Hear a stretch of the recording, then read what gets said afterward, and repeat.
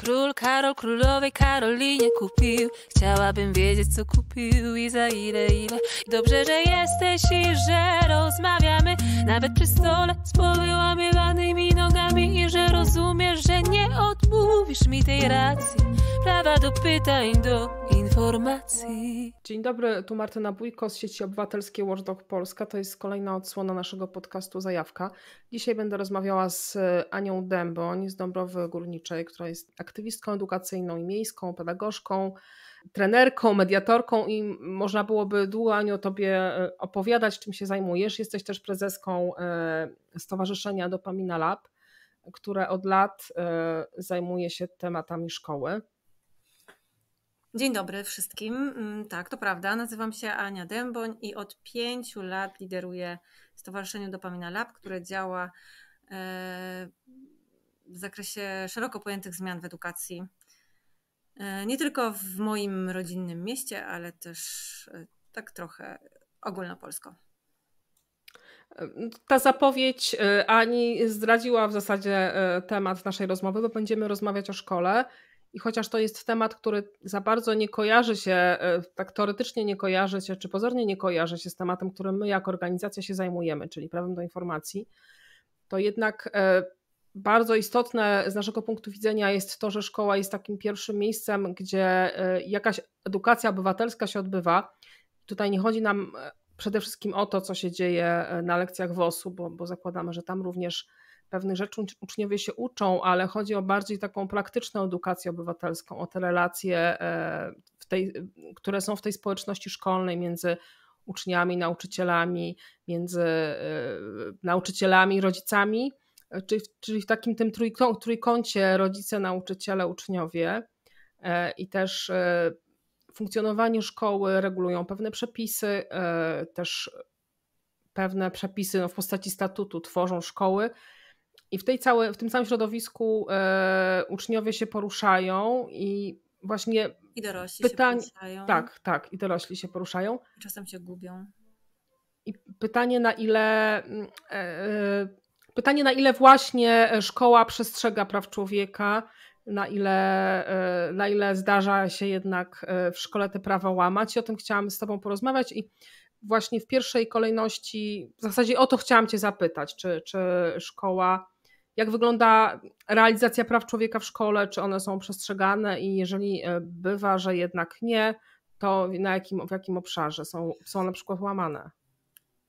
Bardzo szeroko to zapowiedziałaś, bardzo dużo wątków tu poruszyłaś i od relacji przez y, y, edukację obywatelską y, i do tego wątku praworządności szkolnej.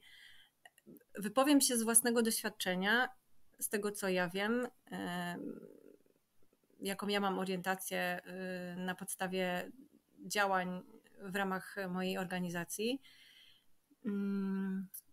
My zrobiliśmy e, taki monitoring. E, powiedziałaś o tych statutach, rzeczywiście to jest taki podstawowy dokument, moim zdaniem bardzo ważny w szkole, e, który jakby organizuje to szkolne życie i to szkolne prawo.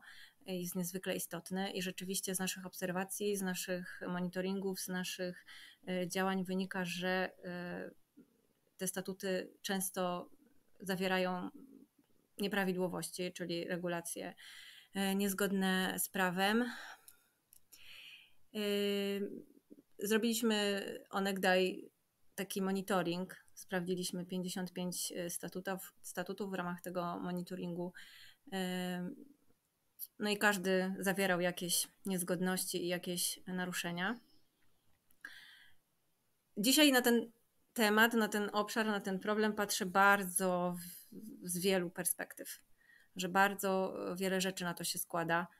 E, dlaczego tak jest i dlaczego jest taka e, w tej szkole sytuacja, że te prawa dzieci, prawa człowieka, prawo oświatowe czasami bywa, że jest e, naruszane i łamane. Mm. Ale właśnie dlaczego, dlaczego tak, jakby jak, jak ty tę sytuację diagnozujesz, dlaczego do tego dochodzi? Bo można E, no tak jak mówiłaś, zapewne jest to wiele czynników. To jest zapewne nieznajomość prawa. E, może być to również takie złudne przekonanie, że wprowadzając jakieś takie restrykcyjne zasady, zakazy, będziemy w stanie jakoś kształtować te jednostki, te dzieciaki, tak żeby one wychodząc umiały w społeczeństwie przestrzegać pewnych norm, bo trzeba przyznać, że te wiele tych zapisów statutowych jest takich właśnie bardzo znaczy, takie, takie tradycyjnych być może. Też, też trudnych do uzasadnienia, a czasem, może czasem nie, no bo nie kwestia używania telefonu na lekcji, no to tutaj zakładam, że chodzi o to, żeby uczeń jednak e, w czasie lekcji uważał, ale już zakaz używania telefonu na przerwie. Jak to uzasadnić, zwłaszcza kiedy e, dzieci widzą nauczycieli, e, no za przeproszeniem, z nosami w telefonach, bo tak, tak się zdarza w czasie przerwy, że coś sprawdzają no i mają do tego prawo, natomiast uczniowie tego prawa już nie mają. Więc widać też te dysproporcje. Prawda? Jest... I, e, mhm, jak ty, gdzie ty widzisz te przyczyny, że, że tak wiele statutów jednak jest niezgodnych z prawem?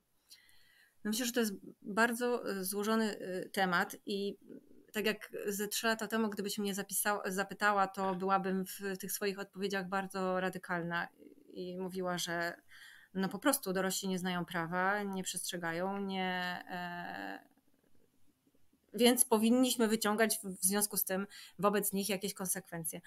Natomiast dzisiaj widzę ten problem jako bardziej złożony, no choćby z tego względu, że um, nie jest to nikogo, nie chcę też nikogo usprawiedliwiać tym, tym co mówię.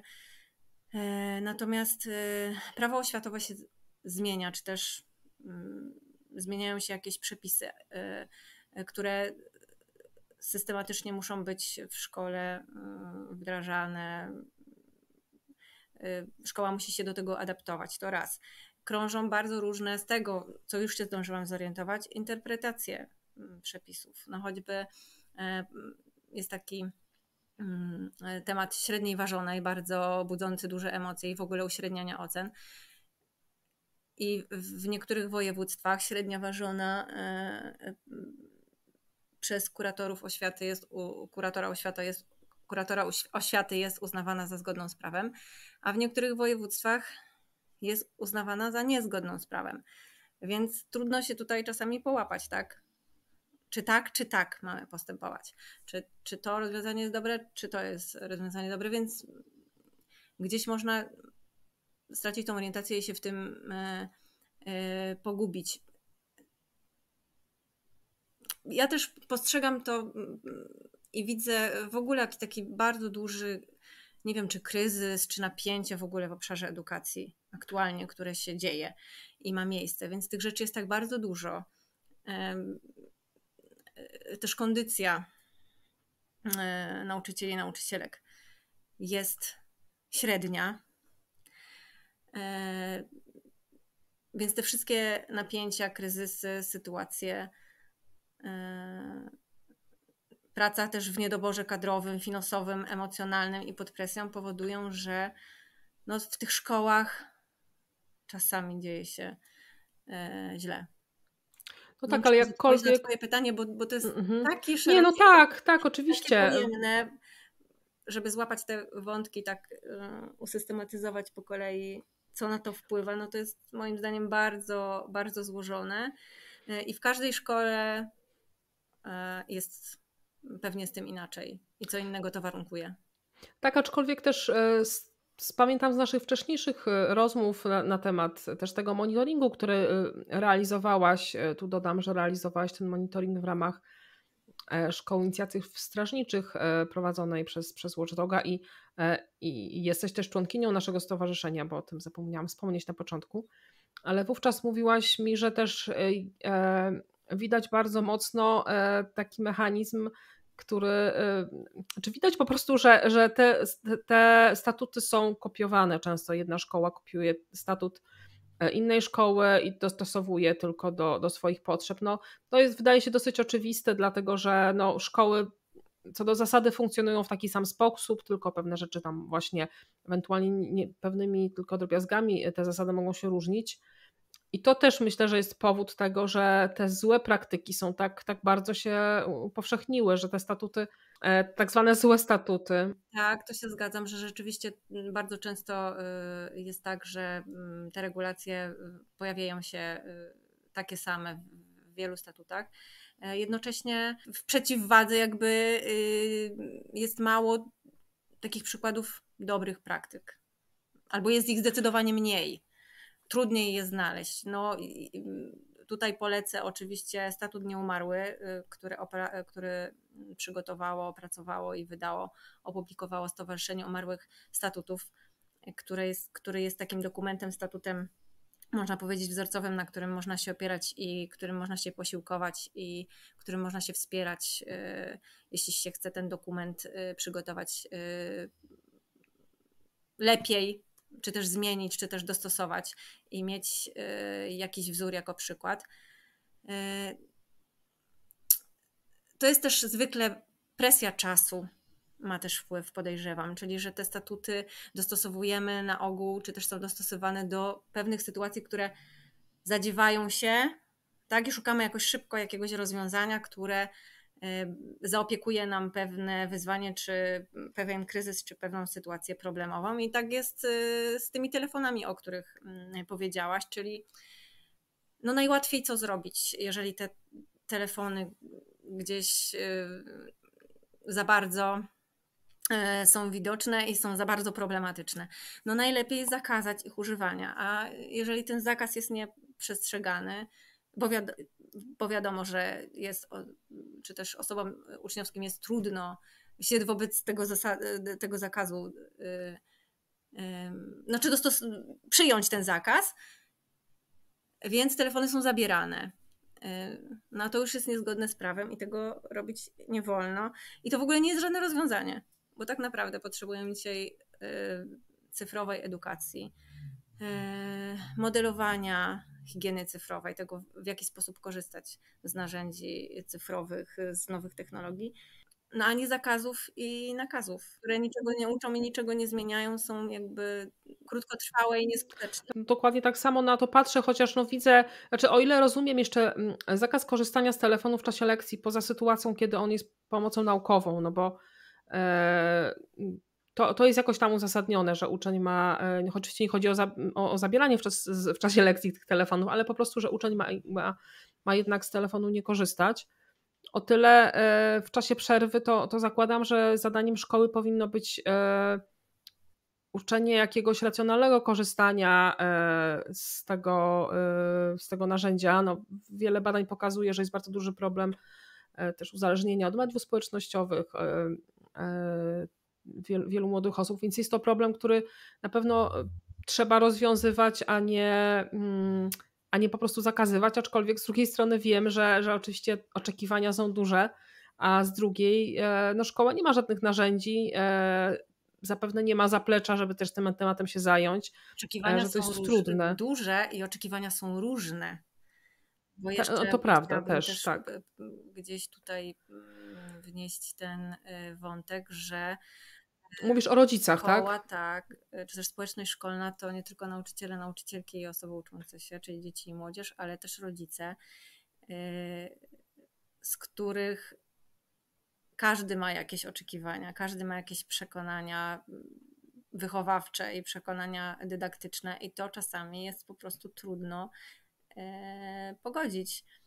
E, ktoś chciałby, żeby telefony były zabierane, ktoś. E, jakby to też dla mnie jest też ważne, żeby wybrzmiało, że to nie tylko środowisko szkolne kształtuje te nasze nawyki cyfrowe, tak? I to, w jaki sposób my korzystamy z tych telefonów. No one, te telefony są również dla nas wyzwaniem, dla dorosłych przecież. E, i to, że niemal cały czas e, no, używamy. E, tak, tak, no staramy się przede wszystkim cały czas być online, więc tutaj to, to rzeczywiście jakby to wiadomo, wiadomo, że temat i jakby mnie wydaje mhm. się, że brakuje też w szkole czasu i przestrzeni na to, żeby z każdym z tych wyzwań pracować, i procesować y, pewne rozwiązania, ustalać mhm. pewne reguły i zasady, ale też wkluczać wszystkie strony zainteresowane w to, co ustalamy i jak ustalamy, no bo tylko wtedy jesteśmy w stanie się pod tym podpisać, tak? pod takim wspólnie ustalonym kontraktem. No i oczywiście z tyłu głowy trzeba mieć cały czas i pamiętać to, że obowiązuje nas prawo, że szkoła to jest instytucja publiczna, w, w której obowiązuje, obowiązują przepisy. No i właśnie jakby do tego e, chciałam, do tego tematu jakby no w pewnym sensie wrócić, bo y, mówiłaś o tym, że są różne oczekiwania i myślę, że takim, y, no, tym, takim papierkiem lakmusowym powinno być to właśnie w kontekście próby y, jakby wyjścia naprzeciw tym oczekiwaniom, czy, czy dane oczekiwanie, czy realizacja tego oczekiwania nie sprawi, że, że szkoła podejmie działania niezgodne z, prawem, bo, z prawem, bo zapewne są rodzice, którzy są zwolennikami kar cielesnych. No, mam nadzieję, że to już jest jakiś nikły procent, ale nie wykluczam, że tacy by się znaleźli. E, no to jest oczywiście niezgodne z prawem, natomiast no, jeżeli zabieranie telefonów uczniom jest niezgodne z prawem, no to myślę, że to mógłby, być, mógłby też być element takiej edukacji obywatelskiej rodziców, którzy y, może nie zdają sobie sprawy z tego, że, y, y, że to jest po prostu nielegalne. Natomiast jak bardzo, niezłożone, jak bardzo złożone byłyby te powody, że te statuty jednak są tak niedoskonałe i często mają zapisy, które są no, no po prostu niekonstytucyjne, co tu dużo mówić, no to jednak trudno jest przechodzić obok tego obojętnie i też dlatego zrobiliście ten monitoring i trudno uznawać, że no dobrze, szkoła jest w trudnej sytuacji, to w ogóle na razie ten temat zostawmy, bo też jestem przekonana, że to nie jest droga, którą ty byś chciała podążać. Nie, natomiast Oczywiście, mhm. że no nie po to o tym mówimy, nie po to to nagłaśniamy, nie po to się tym zajmujemy, że, żeby tylko po prostu to sprawdzić i nie wiem, zdiagnozować szerzej, stwierdzić, że no dobra, jest trudno, więc może kiedy indziej się tym zajmiemy. E, jak najbardziej jest to wyzwanie i temat na teraz i, i na szybko, ponieważ no też jakby to, w jaki sposób e, to, co my ustalamy w tych statutach, E, jakie tam są zasady, to też kształtuje tą szkolną rzeczywistość i też to, jak my w tej szkole się czujemy. No, jak traktujemy, w jaki sposób traktujemy też osoby uczące się, tak? Czy podmiotowo, czy, czy nie. No. I w zasadzie tutaj, bo ten wątek jakoś pominęłam, a wydaje mi się, że ważne jest, żeby może trochę operować na konkretach i jakbyś mogła powiedzieć o takich najważniejszych ustaleniach tego monitoringu, w jakim zakresie te, te statuty są najczęściej no, niezgodne z prawem, o jakie, jakie zapisy chodzi, bo mówiłyśmy póki co tylko o, o telefonach komórkowych. No to jest, to wybrzmie, czy też to były rzeczy, które y, wyszły nam w trakcie monitoringu, ale to są też rzeczy, które najczęściej gdzieś się pojawiają i przebijają, e, czy też w kierowanych do nas pytaniach czy prośbach o pomoc, y, o, y, o interwencję i to są na ogół nieprawidłowości związane z ocenianiem, tego jest jakby najwięcej, czyli oceny niedostateczne za mm, braki prac domowych, braki podręczników, książek, za nieprzygotowania do lekcji, czyli potem yy, uśrednianie ocen i średnia ważona. Yy, wymaganie usprawiedliwienia z podaniem przyczyn i powodów szczegółowych, dlaczego y, dana osoba nie była w szkole, albo też bywa wymaganie zaświadczenia lekarskiego albo zaświadczenia od jakiejś innej instytucji i właściwie nie wiadomo jakiej, która miałaby y, na podstawie którego to zaświadczenia ta, to usprawiedliwienie E, dopiero następuje. E, szczegółowe regulowanie wyglądu lub stroju. E, no to konfiskowanie telefonów, o którym już mówiłyśmy. To są takie i też zapisy, które i regulacje, które są nieprecyzyjne, które można różnie interpretować, które są niejasne, o których nie wiemy, których do końca nie wiemy o co chodzi. Więc to są takie najczęstsze błędy, które e, dostrzegamy w statutach. A jakbyś e, miała poradzić rodzicowi, który nie wie, czy w szkole jego dziecka to prawo jest łamane właśnie chociażby jakimiś niezgodnymi e, z, no, z prawem zapisami statutowymi, ale nie tylko, to w jaki sposób może to sprawdzić i czy jakieś, jakoś tutaj może być przydatne prawo do informacji, o co można na przykład zapytać taką szkołę? nam prawo do informacji przydaje się, przydało się czasem, żeby w ogóle ze statutem się zapoznać. Bo pomimo tego, że jest to dokument, który jest jawny, powinien być opublikowany i łatwo dostępny, no to czasami bywa, że jest gdzieś ukryty i trzeba zawnioskować y, o ten dokument właśnie w, w trybie zapytania o informację, żeby mieć do niego dostęp. Teraz y, trwa i prowadzimy taki duży mm, monitoring, który też się zadziewa z wykorzystaniem prawa do informacji, czyli y, skierowaliśmy do szkół wniosek, w którym zadaliśmy 60 pytań y, o takie mm, różne ważne mm, dla nas sprawy i kwestie,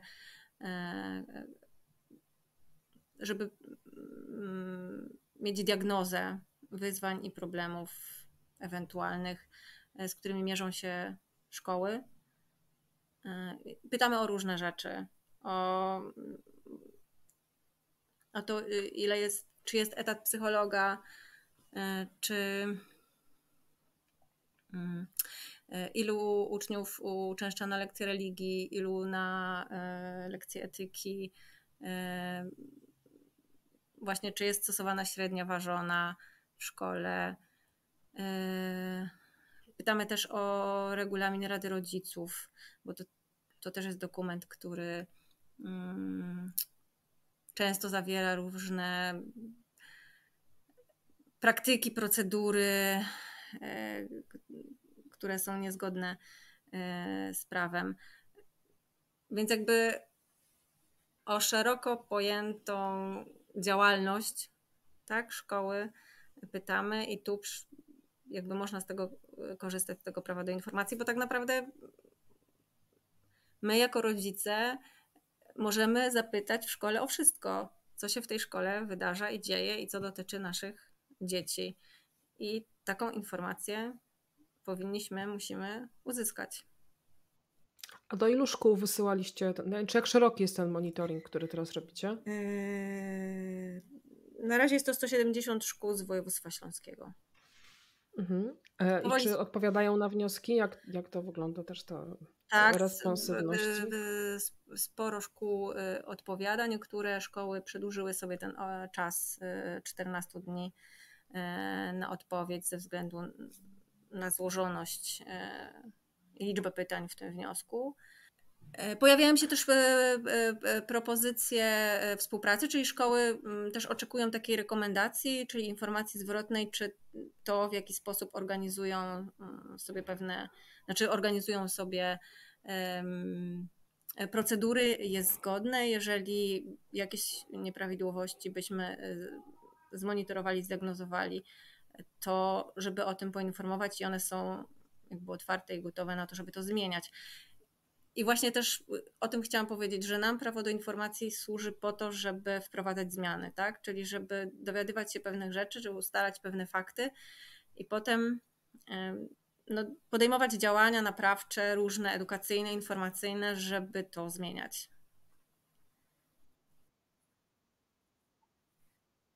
A jak ty widzisz w ogóle ten proces zmiany e, w szkole? Jak, jak jak opcja byłaby, jest Twoim zdaniem najskuteczniejsza? No bo jakby przyglądając się temu, co się w szkole dzieje na różnych płaszczyznach i e, co teraz jest mocno dyskutowane, począwszy właśnie od podstawy programowej przez e, nadmiar lekcji religii, ale też te, e, też te różne niezgodne z prawem zapisy w statutach, że szkoła jest tak pod takim mocnym dosyć, można powiedzieć, obstrzałem pod wieloma względami. Jak te zmiany zainicjować w taki no, sposób, żeby mm. szkoły, powiedziałaś, że są chętne do współpracy różne. niektóre szkoły, że pytają, szkoły, więc jak, jak to robić, żeby wiadomo, one... nie szkoły, tylko mhm. osoby w tych szkołach, ludzie reagują na wniosek, e, e, na zapytanie o informację lub też jakąkolwiek sytuację no z obawą, z lękiem, no to jest kontrola, postrzegają to jako kontrolę, przyglądanie się, więc to wiadomo stresuje, powoduje napięcia i wywołuje jakąś presję. E, mniej jest tych szkół, które jakby dostrzegają w tym wartość. No, i myślę, że my też się tego uczymy, tej współpracy wzajemnej w tym mm, zakresie. Czy te zmiany się dzieją? Dzieją się. Czy mogłyby się dziać szybciej? No zdecydowanie szybciej mogłyby się dziać, ale no też y, chcę uczciwie powiedzieć, że te statuty się zmieniają. Szkoda, że musi dojść do interwencji właśnie y, kuratora oświaty przy jakiejś takiej właśnie kolizyjnej, konfliktowej, trudnej sytuacji, żeby to nastąpiło. E, no ale się dzieje. Wiadomo, że lepiej i, mm, mm, i skuteczniej, jeżeli dzieje się to w dialogu i we współpracy, ale nie mamy trochę takich standardów, tak? Ja bym bardzo też chciała, żeby y, nawet jeżeli kuratorium oświaty występuje z, kontrolą, czy też wchodzi do szkoły, no to to jest postrzegane jako coś, no, no coś, co budzi przerażenie i strach, tak? E, żeby bardziej to było na wsparciu, na e, współpracy, na, mm, niż na takiej presji kontroli tego, że my teraz wam wytkniemy błędy, a wy poniesiecie tego konsekwencje, bo myślę, że wtedy jest najtrudniej coś zmieniać i najtrudniej coś wtedy osiągnąć.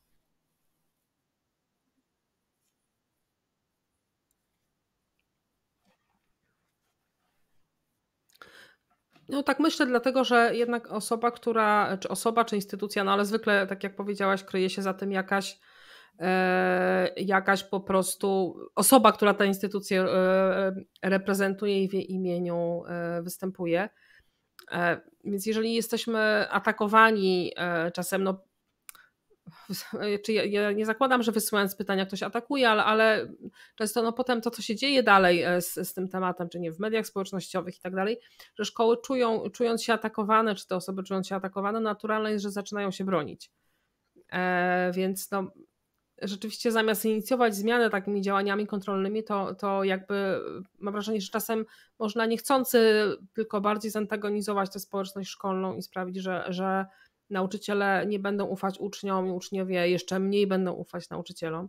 E, a tak czy inaczej muszą jakoś razem funkcjonować. E, ja znam wiele takich przykładów, gdzie e, no, takie sytuacje w zasadzie nie prowadziły do rozwiązania jakiegoś problemu, może nawet jakiś konkretny jeden problem został rozwiązany, natomiast to zaufanie po prostu to zostało nadszarpnięte e, w przypadku, znaczy w przypadku obu stron, to jest bardzo trudno odbudować, więc tutaj rzeczywiście e, widzę, e, że jest to bardzo, znaczy jest to bardzo trudne. To jest bardzo trudne pod tym względem, że no jednak to jest instytucja publiczna, no, ma działać zgodnie z prawem, tak? Więc no dziwi sytuacja, że jednak tej praworządności tam brakuje i nie ma. Mhm, no tak, tak, tak. I jakby jak to wskazać, jak to robić, żeby, żeby ta zmiana się zaczęła. I mi się wydaje, że jakimś tam sposobem jest jednak mówienie o, o szerszym problemie. Wiadomo, że czasem e, potrzebna jest jakaś interwencja, jeżeli w szkole źle się dzieje, to też nie ma co zamiatać pod dywan. No nie można tego zamiatać, nie można też tego nie nazywać po imieniu, że jeżeli jest to łamanie prawa, no to jest to łamanie prawa.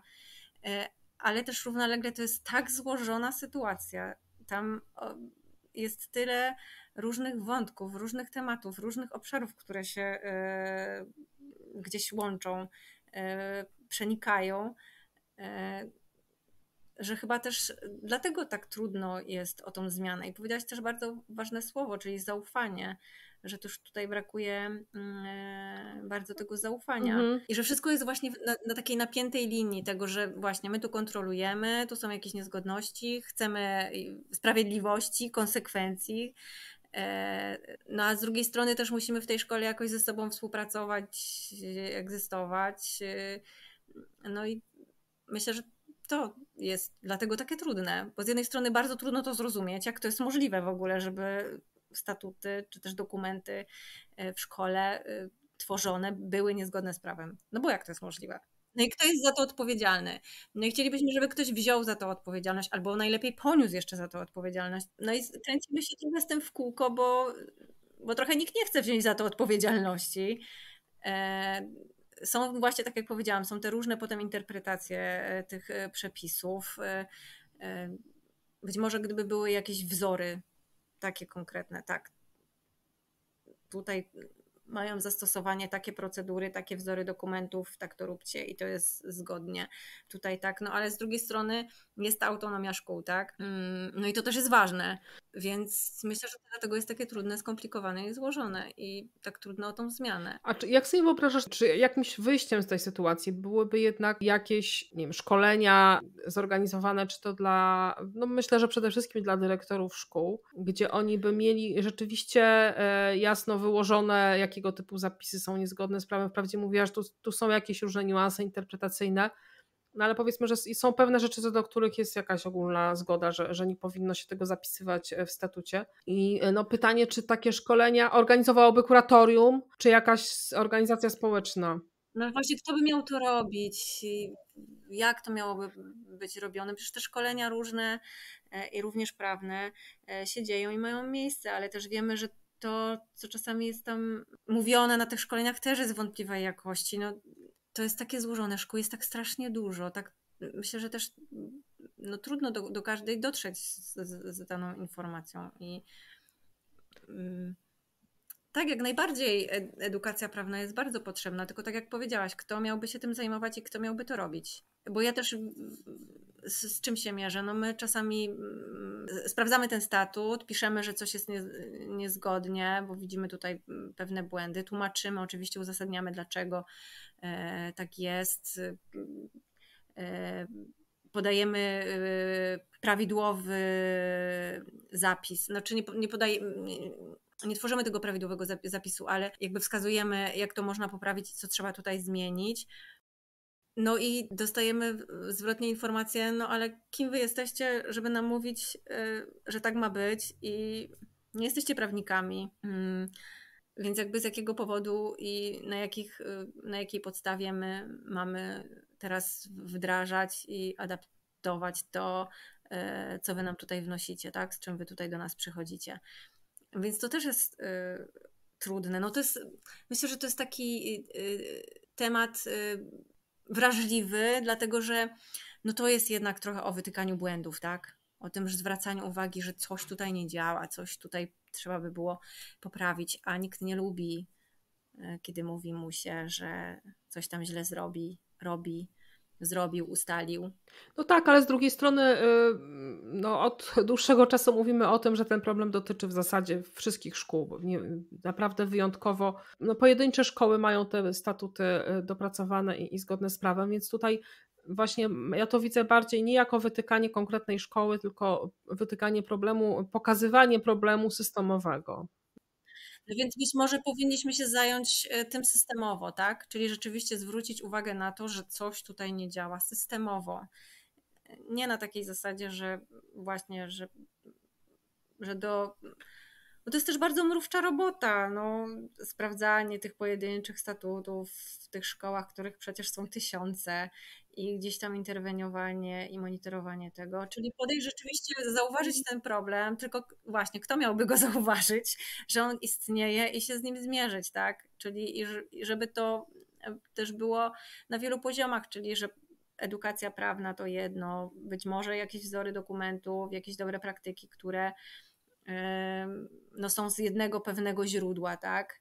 E, które, do którego wszyscy mamy zaufanie. Niech to będą kuratoria oświaty być może, tak?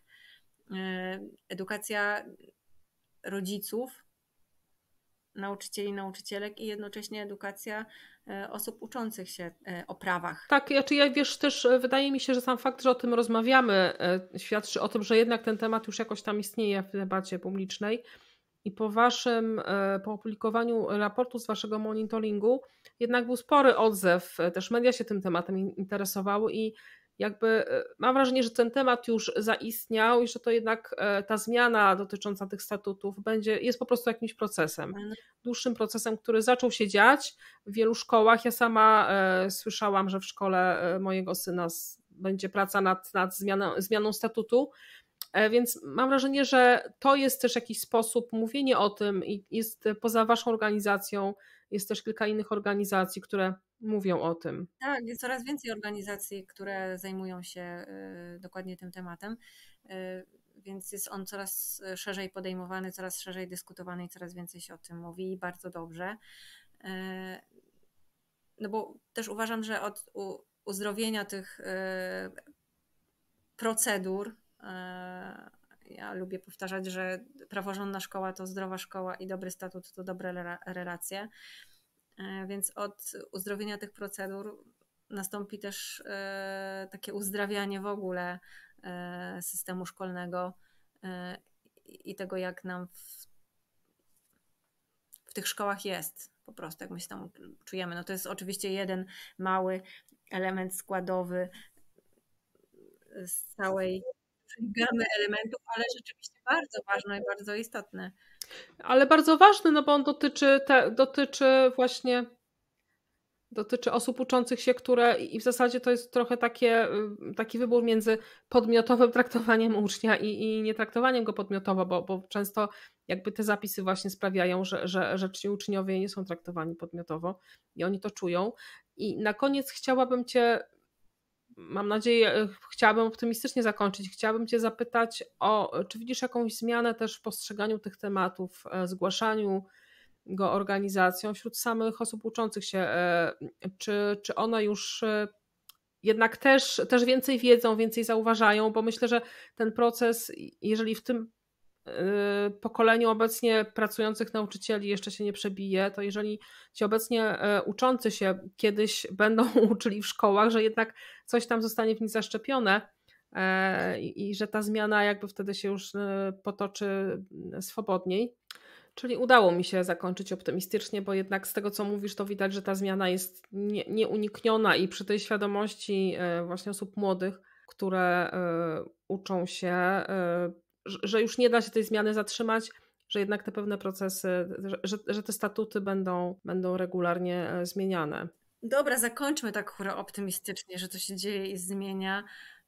No chociaż tak jak mówię, to jest, to jest temat, którym trochę nie, po, dziwnie jest się zajmować, no ale, no ale się zajmujemy, tak.